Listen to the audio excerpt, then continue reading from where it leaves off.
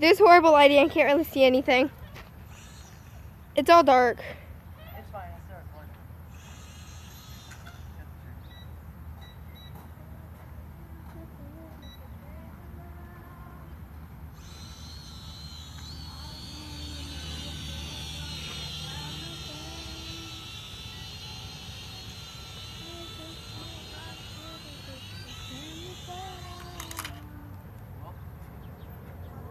This is the remains. It's all intact.